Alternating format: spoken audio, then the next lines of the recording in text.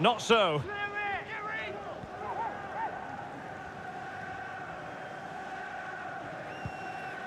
Callum McGregor.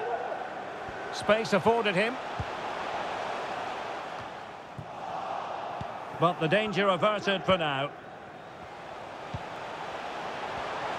Able to skip past his man.